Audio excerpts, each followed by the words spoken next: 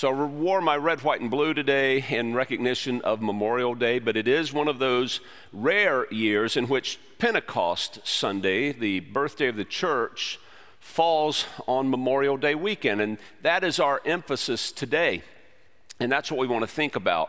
Uh, Will Willimon, in his commentary on the Pentecost story, in his commentary on the book of Acts, begins his reflections with a, a statement, a line from the poet T.S. Eliot In my beginning is my end.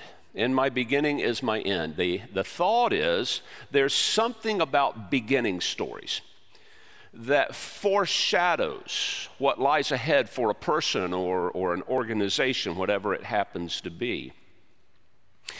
Have you ever thought about that in your life or the lives of other people, your own personal birth stories? Do you have any traditions like birthdays where you remember birth stories?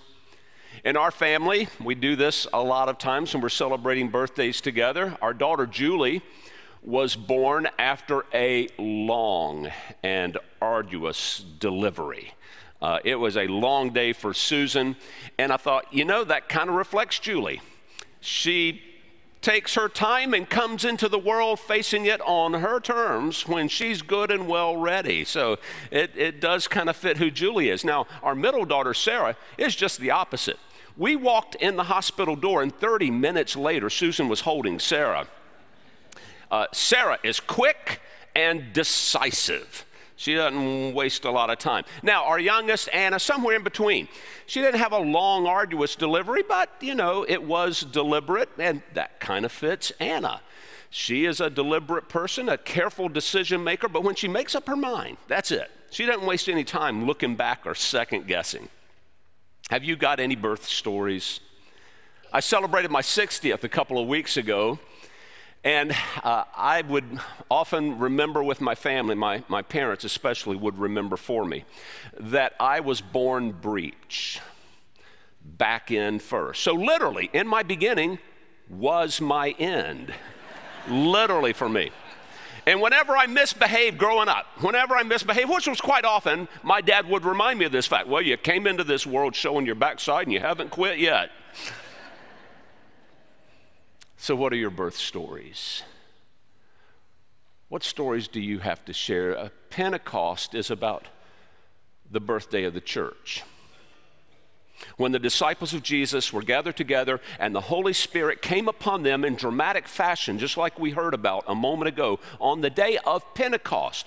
Pentecost was one of the three pilgrimage festivals in the Jewish faith. Penta, we probably recognize the prefix 50 50 days after Passover. Jews, wherever they lived, those even beyond the borders of Israel, were encouraged to make pilgrimage back to the temple to celebrate the festival of first fruits the harvest beginning to come in, giving thanks for the God who provides for us. And this is why there were so many different nationalities in Jerusalem on the day of Pentecost when the Spirit empowered the disciples to become the church. And that's what I want us to think about today the meaning of this, because what Pentecost means is that you and I have the same spiritual ancestry. We all have the same spiritual birth story. And what the writer of Acts would want to do is to teach us something in this birth story. Really, the Bible does it throughout Scripture. Exodus takes a little bit of time to tell about the birth story of Moses, who was spared death by Pharaoh and was delivered, sending Moses down by his mother in a basket of reeds so that his life would be spared. He was delivered, and guess what? He became a deliverer. The writer of Luke tells about Jesus' birth with great elaborate detail, born homeless in a manger, to say that this is a Savior who will relate to those who are outcast and on the underside of life. So, what does the birthday of the church have to say to you and me? What does it teach us? Let's consider a few things about our birth story in the church to see what it has to say about our own story as the church and being the church today. It begins when the day of Pentecost had come, they were all together in one place. Now, what was that place? It says they were in an upper room. Some scholars believe it could have been the same upper room where they celebrated the Last Supper. Today in Jerusalem, there is a place called the Cenacle that commemorates the upper room. And when Christian pilgrims go there, they typically remember one of two things the Last Supper, they have a very quiet, somber Holy Communion service, or they remember Pentecost. More Pentecostal type Christians like focusing on Pentecost and the spectacular display of the Holy Spirit's presence. Ten years ago, I was in Jerusalem filming a DVD resource for a book I wrote called The God We Can Know. And we were in the upper room filming part of it. There were different groups of Christians and corners of the room having communion. It was quiet. We were still able to record. And then we became aware of a group of Christians from South America. They were praying, they were singing, it was soft and beautiful, but then they started getting louder and louder and la- and they stood up and they began shouting out and speaking in tongues and falling on the well i had a film crew from israel doing the filming and it was clear we couldn't go on. Like, like we were just going to have to take a break for a while. So the videographer set his bag down he pulls out a water bottle pulls out something to eat. He's just watching this. He says rob do all churches in america worship this way? Does your church worship this way? I said, Well, not exactly. At St. Luke's in Indianapolis, we do this on the second Sunday of the month, not every Sunday, just the second Sunday of the month. This has nothing to do with today's sermon. Anytime I hear the Pentecost story, it takes me back to that moment. So, you know, I just shared a memory lane with you. All right, what was I talking about? What, what were the disciples doing in that one place where they were together in the upper room. We learn that from chapter 1. They all joined together constantly in prayer. There's an important element of the birth story right there that the church should and needs to be engaged in prayer. Prayer, prayer is essentially an act of surrender, of giving up and recognizing we are dependent on God. We are hopeless without God's help. We need God's presence. And when we pray, we are turning to God saying, Lord, we need you be ever present with us. What does that look like in your life? To have patterns of prayer before you jump into the problem solving, where you pause for a moment and say, God, this problem's too big. We got to start with you. Last Sunday afternoon, I joined some of our advocates for peace in a prayer for peace service at New Era Church on 30th Avenue. Uh, Dr. Clarence Morris, the senior pastor there, it was for all churches in the city to come together. And it was about the gun violence that has just been wrecking our city. Now, just two weeks ago, we had the 21 year old son of one of our staff members, Tijuana Lockhart, who was shot and killed in what appears to be a random event in downtown Indianapolis. So I felt a strong need to be at this service. First thing that Dr. Moore did was divide everybody up randomly into groups of seven and ask us to spend the next hour praying together uh, for different petitions of peace in the city. Now, my activistic side wanted to say, this is nice, but what we really need to be doing is to get outside and get out there and develop strategies that are going to change our city. but my wiser self, my more spiritual self, knew that this was exactly where we need to be calling together Christians of different races, different denominations, Christians that if we got into enough of a conversation about worship styles, about how our faith addresses political issues, uh, about our theologies, we would have easily started separating and dividing. But when we said, we've all got a problem, no one is spared from this problem. We have got to have God's help. Let's pray.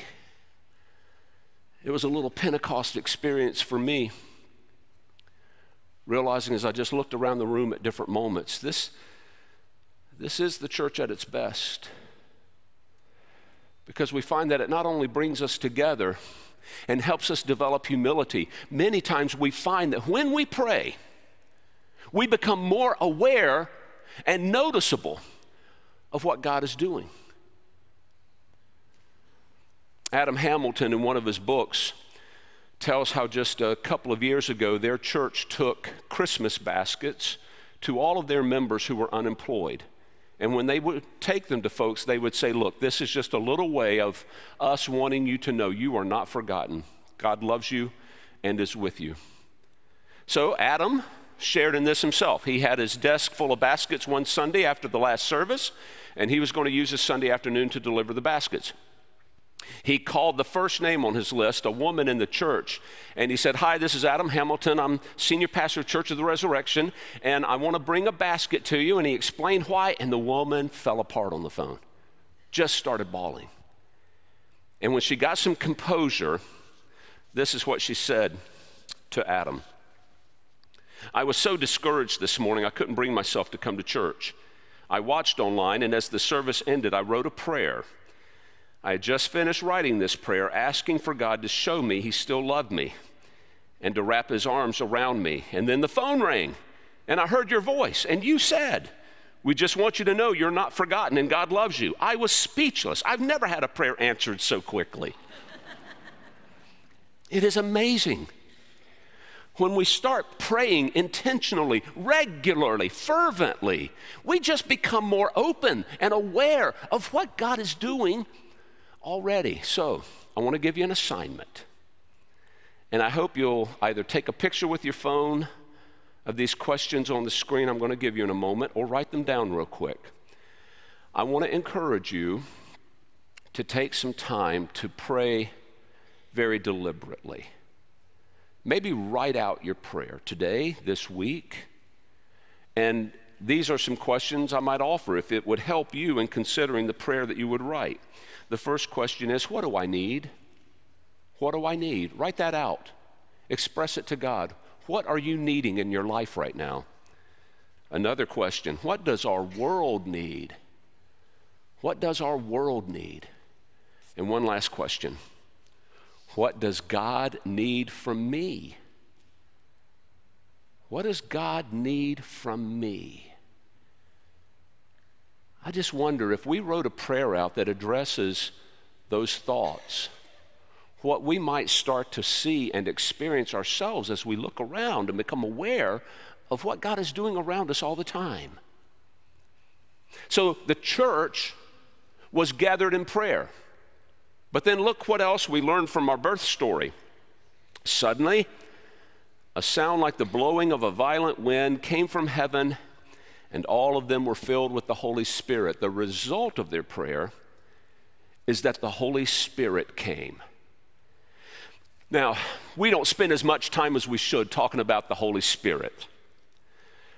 The Holy Spirit simply means that part of God that empowers us to do the work of Jesus. That part of God that empowers us to do the work of Jesus.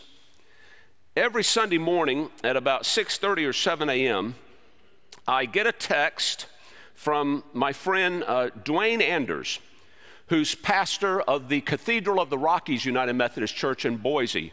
We're part of a group of pastors around the country and we meet a couple of times a year. And every Sunday, Duane sends all of us a prayer or a quote by somebody that just helps us with this day. This is what he sent this morning.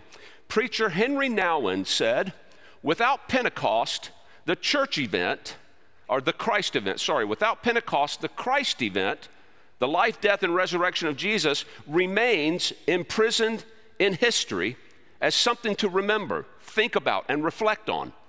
The Spirit of Jesus comes to dwell within us so that we can become living Christ here and now. That's, that's what the Pentecost story means for us. Is that God meets us as we look to God independence and gives us the ability to act and carry on the work of Jesus. There's an old saying that says, pray as if everything depends on God, but act as if everything depends on you.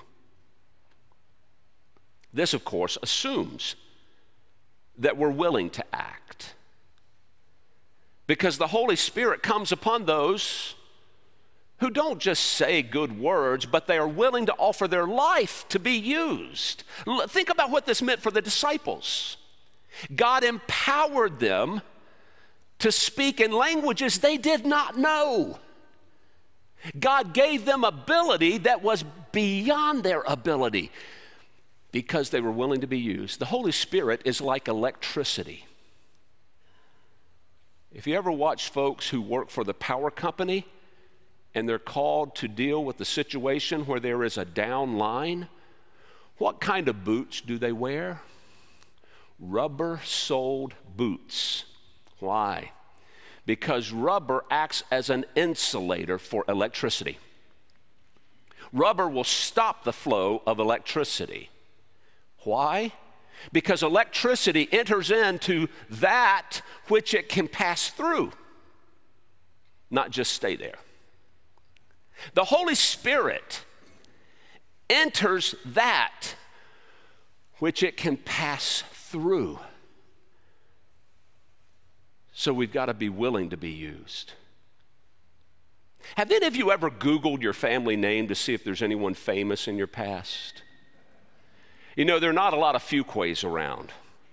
So I found it real interesting a few years ago to learn that there is a Bill Fuquay who was kind of famous. He set a Guinness Book of World Records for remaining motionless. You see? I mean, it, there might be a little similarity in this picture up here. It's kind of scary.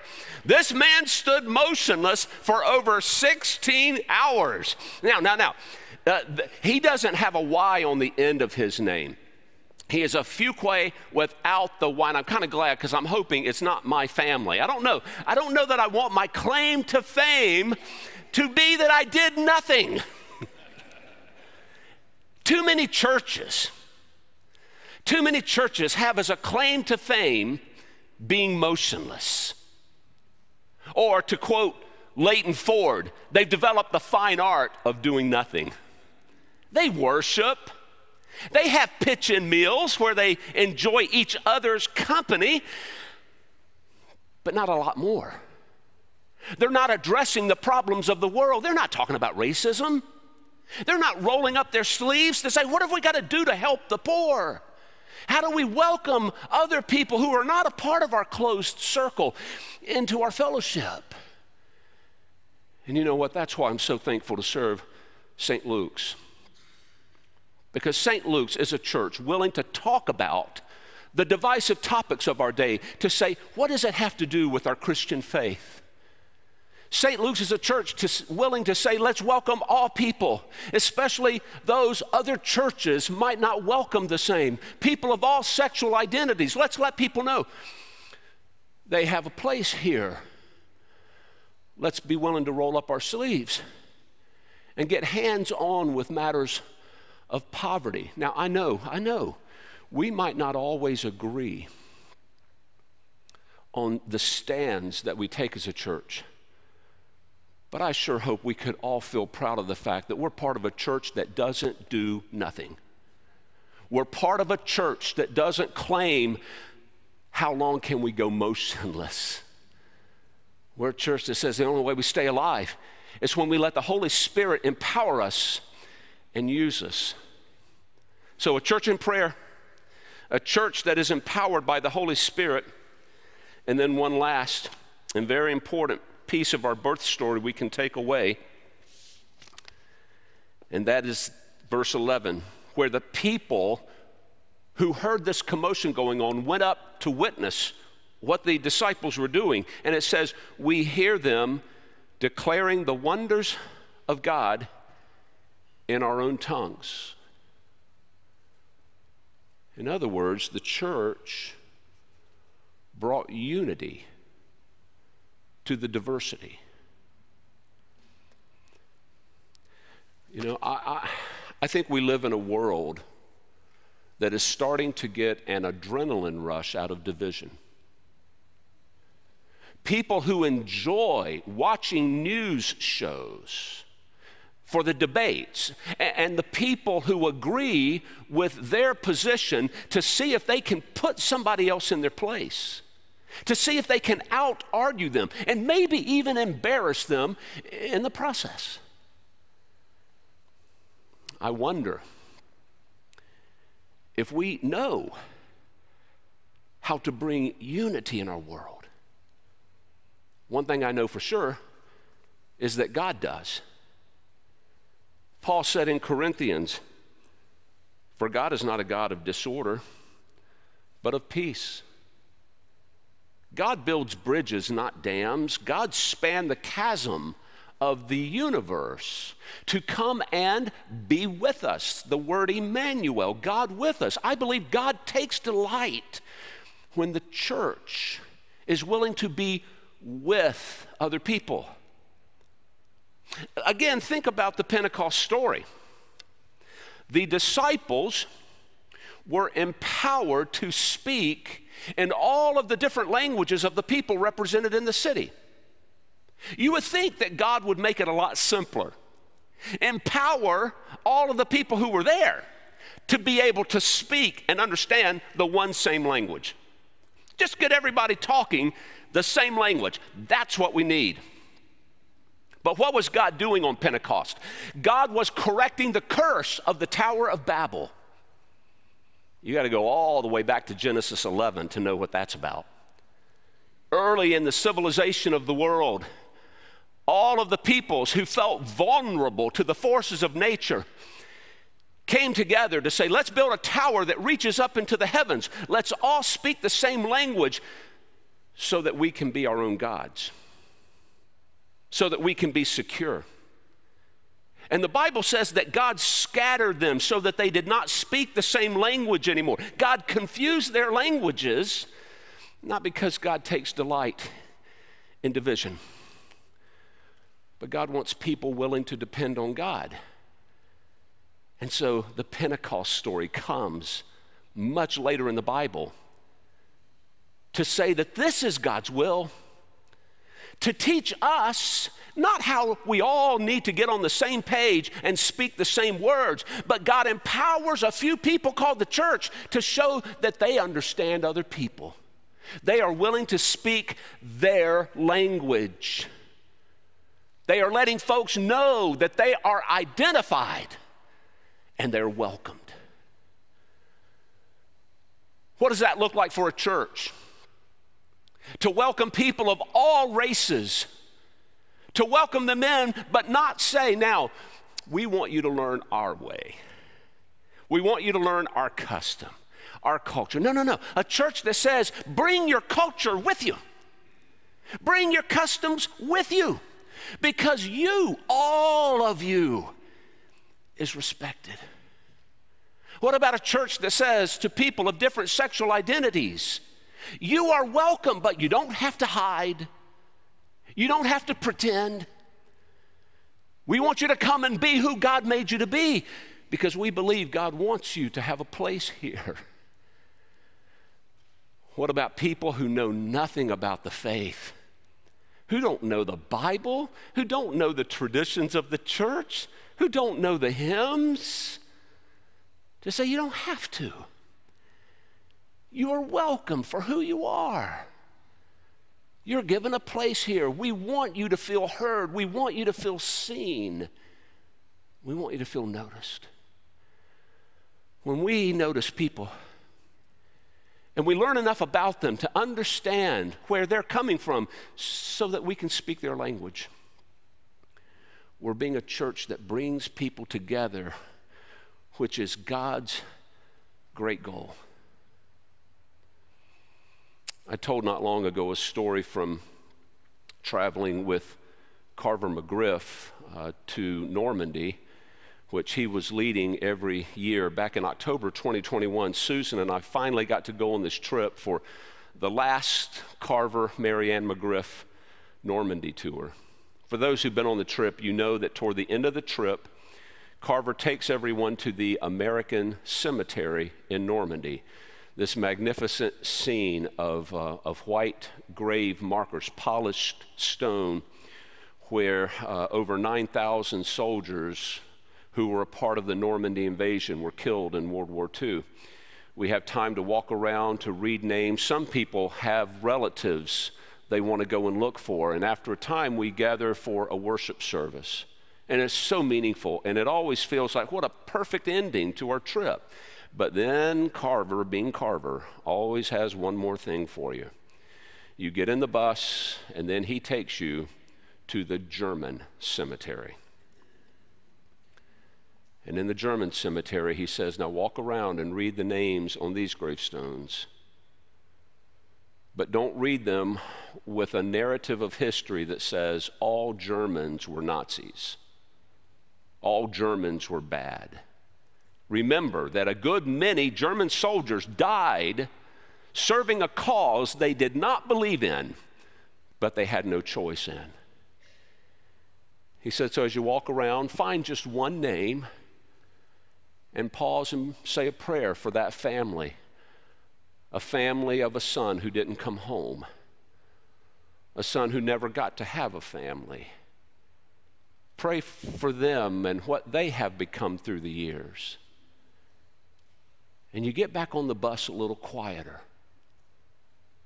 thinking, yeah, this is what we need.